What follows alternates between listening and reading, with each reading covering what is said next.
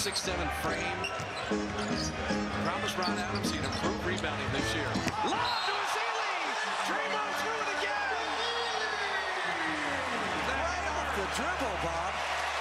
This and the hat! This is a tough pass. Right off. This is a very tough pass. Watch how he does this. Gasol never even moved because he didn't have time to. Right off the dribble. You talk about the skill.